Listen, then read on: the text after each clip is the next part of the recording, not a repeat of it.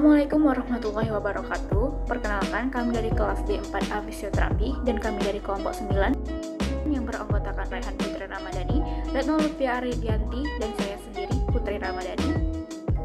Di sini kami akan membahas tentang tindak pidana korupsi atau biasa dikenal dengan tipikor. Tipikor sendiri adalah kegiatan yang dilakukan untuk memperkaya diri sendiri atau kelompok, di mana kegiatan tersebut telah melanggar hukum karena merugikan bangsa dan negara.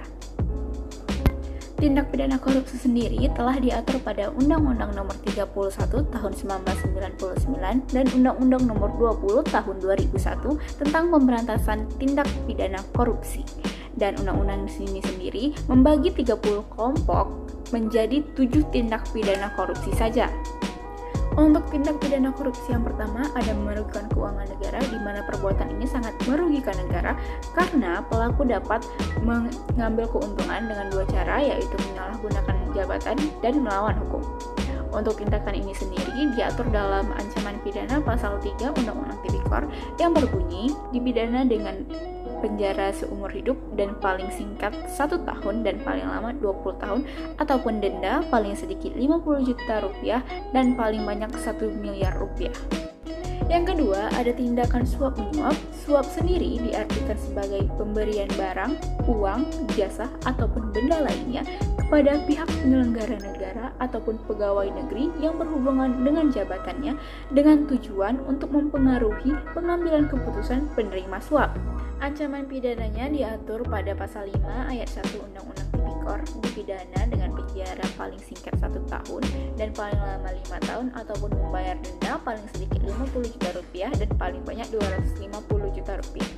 Yang ketiga, ada tindakan penggalapan dalam jabatan. Penggalapan dalam jabatan adalah memperlakukan suatu barang yang bukan miliknya sendiri seakan miliknya sendiri, baik dilakukan oleh pegawai negeri ataupun orang yang bukan pegawai negeri.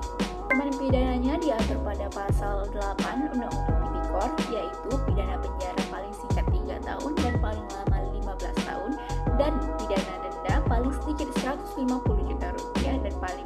750 juta rupiah. Yang keempat, ada tindakan pemerasan, di mana tindakan ini adalah memaksa seseorang untuk melakukan sesuatu, menerima sesuatu, membayar sesuatu, ataupun mengerjakan sesuatu bagi dirinya. Ancaman pidananya diatur pada pasal 12 EF dan G Undang-Undang Tipikor, yaitu pidana penjara paling singkat 4 tahun dan paling lama 20 tahun, serta pidana denda paling sedikit 200 juta rupiah dan paling banyak 1 miliar rupiah. Yang kelima, ada perbuatan curang. Perbuatan curang adalah perbuatan yang tidak sesuai dengan keadaan yang sesungguhnya, biasanya menyangkut kualitas dan kuantitas suatu barang yang dapat berpotensi menimbulkan bahaya bagi seseorang serta menimbulkan bahaya bagi keselamatan negara apabila dalam keadaan perang. Ancaman pidananya diatur pada pasal 7A dan B Undang-Undang Tipikor, yaitu pidana penjara paling singkat 2 tahun dan paling lama 7 tahun, serta pidana denda paling sedikit 100 juta rupiah dan paling banyak 350 juta rupiah. Yang keenam adalah benturan kepentingan dalam keadaan, seperti contohnya adalah panitia lelang barang ingin memutuskan siapa pemenang dari lelang barang tersebut. Kemudian ternyata dalam lelang barang itu ada anggota keluarga atasannya yang mengikuti acara tersebut. Hingga akhirnya si panitia ini memutuskan bahwa keluarga atasannya lah yang uh, dimenangkan dalam acara lelang barang tersebut. Hal ini bisa terjadi karena adanya tekanan atau titipan dari sang atasan. Kemudian yang ketujuh adalah gratifikasi. Contoh dari gratifikasi ini sendiri adalah pemberian hadiah atau parsel kepada para pejabat dan keluarganya hari raya keagamaan oleh rekan maupun bawahannya sendiri. Kemudian, mengapa pemberian hadiah ini dapat menjadi gratifikasi? Pemberian hadiah ini dapat menjadi gratifikasi apabila diterima oleh pegawai negeri atau penyelenggara negara, seperti presiden, wakil presiden, pegawai BUMN, pegawai BUMP, DPR, DPRD, TNI, polisi, dan para pegawai pemerintahan lainnya. Adapun perbedaan antara gratifikasi, suap, dan pemerasan. Apa perbedaannya? Jika suap terjadi apabila pengguna jasa menawarkan imbalan kepada petugas dengan tujuan agar keinginannya lebih cepat tercapai, walaupun hal ini melanggar prosedur. Sedangkan pemerasan sendiri terjadi apabila petugas layanan menawarkan jasa atau meminta imbalan kepada pengguna agar dapat membantu mempercepat tercapainya keinginan si pengguna. Dan gratifikasi terjadi apabila pihak pengguna layanan memberikan sesuatu kepada pemberi layanan tanpa adanya penawaran. Biasanya hal ini bermaksud hanya untuk memberikan tanpa adanya maksud terselubung atau maksud apa pun. Jadi, intinya di sini adalah jika suap, maka si penggunalah yang menawarkan atau memberi. Sedangkan pemerasan, si pelayanlah yang menawari atau e, memberi.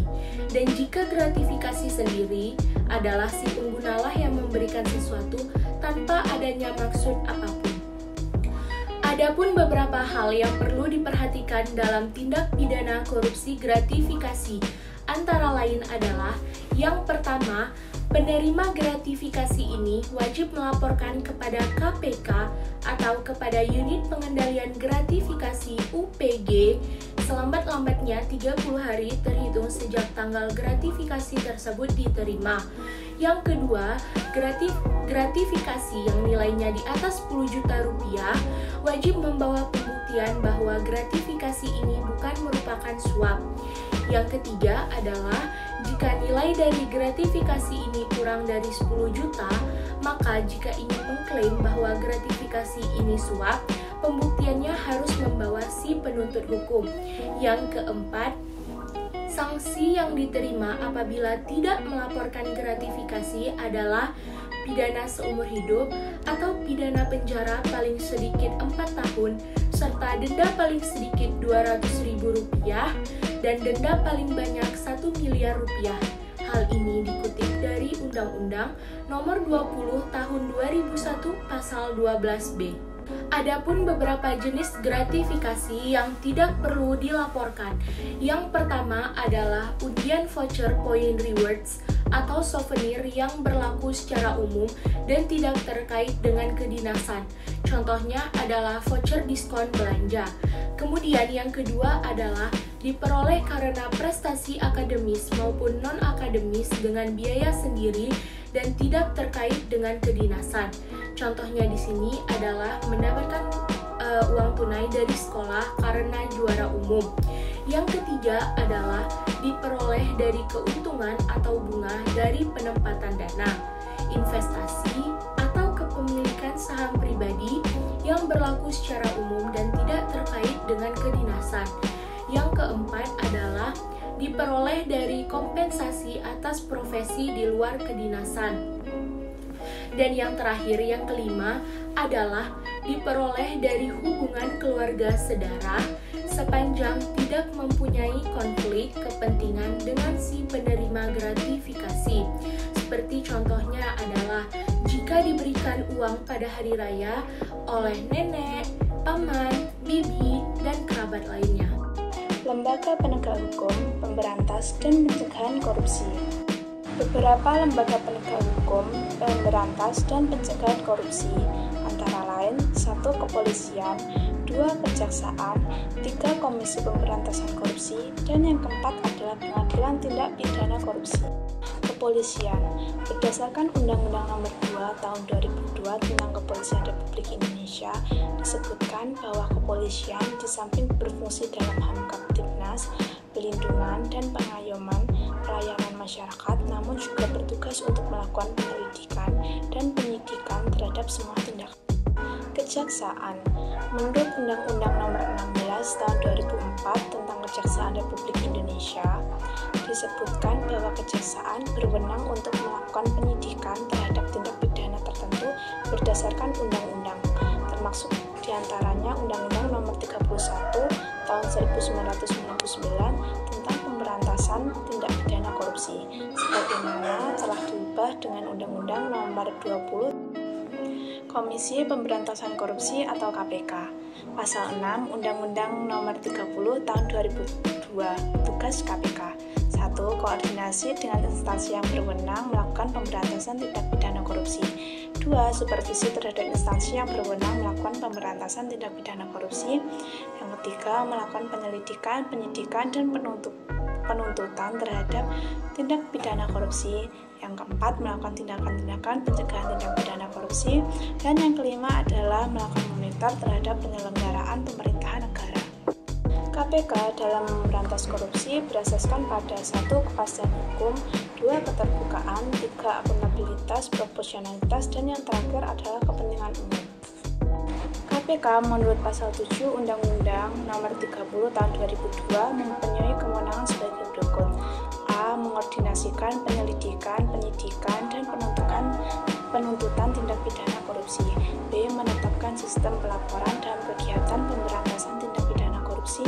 C. Meminta informasi tentang kegiatan pemberantasan tindak pidana korupsi pada instansi yang terkait. D. Melaksanakan dengan pendapat atau pertemuan dengan instansi yang berwenang melakukan pemberantasan tindak pidana korupsi. Dan E. Meminta laporan instansi terkait mengenai pencegahan tindak pidana korupsi.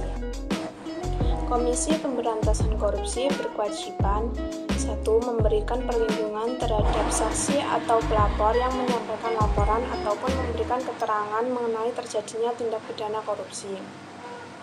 B. Memberikan informasi kepada masyarakat yang memerlukan atau memberikan bantuan untuk memperoleh data lain yang berkaitan dengan hasil penuntutan tindak pidana korupsi yang ditanganinya. C menyusun laporan tahunan dan menyampaikan kepada Presiden Republik Indonesia, Dewan Perwakilan Rakyat Republik Indonesia, dan Badan Pemeriksa Keuangan. Selanjutnya, menegakkan sumpah jabatan, dan yang terakhir adalah menjalankan tugas, tanggung jawab, dan wewenangnya berdasarkan asas-asas. Pengadilan Tindak Pidana Korupsi atau Tipikor Pengadilan Tipikor berwenang memeriksa, mengadili, dan memutus perkara. Selanjutnya, tindak pidana korupsi. Selanjutnya, tindak pidana pencucian uang yang tindak pidana asalnya adalah tindak pidana korupsi dan yang terakhir adalah tindak pidana yang secara tegas dalam undang-undang lain ditentukan sebagai tindak pidana korupsi. Sekian video penjelasan dari kelompok kami.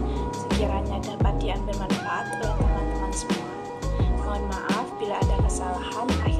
Kami ucapkan terima kasih. Wassalamualaikum warahmatullahi wabarakatuh.